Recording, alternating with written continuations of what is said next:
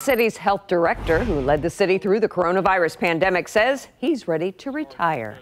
Dr. Rex Archer has worked with the city for the last 23 years. Had originally planned to retire in December, but fate had different plans with this pandemic. His last day will now be August 1st. Stay with KCTV 5. We're going to hear from Dr. Archer coming up in our news at 5 o'clock. Right now,